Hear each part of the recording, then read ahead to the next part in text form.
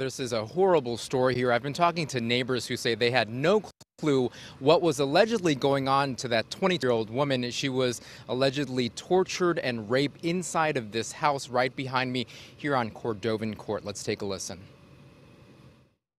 We heard the flashbang, and then later on, because we just stayed up there, then coming down after they left, the whole garage door they tore down. It was on the ground. And uh, they've gone through the house. Neighbor Victor G gave us permission to show his ring video that he just gave us. County Sheriff's deputies and a SWAT team are seen going past his home over the weekend as they approach Peter McGuire's house just around the corner.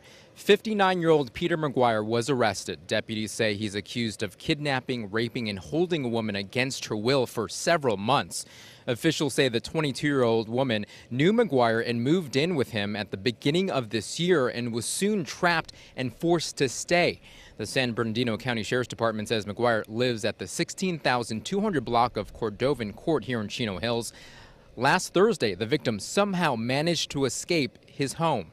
She ran to Alterra Park, about 15 minutes away, you see in this video, where deputies were able to help her. She told them McGuire tortured, physically, and sexually assaulted her for several months at his home. Officials say the victim had visible injuries which were consistent with her allegations and her story and was then treated at a hospital.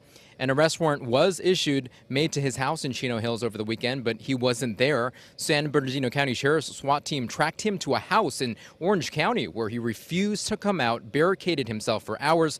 After negotiations, he finally gave himself up. He's now facing charges of suspicion of kidnapping, torture, aggravated mayhem, rape, false imprisonment, and assault with a deadly weapon. He pleaded recently not guilty in court just yesterday, and he's being held without bail. He's scheduled to face a judge again Thursday of next week. Now back out here live as we take one last live look here at Cordovan Court. Uh, they say here, um, as you see, it's a very quiet residential neighborhood. A lot of neighbors had no clue what was going on. Now, sheriff's deputies are asking for your help. If you happen to know anything about this case, it's still under investigation. That number for their deputies is 909 364 2000. Reporting here in Chino Hills. Back to you in the studio.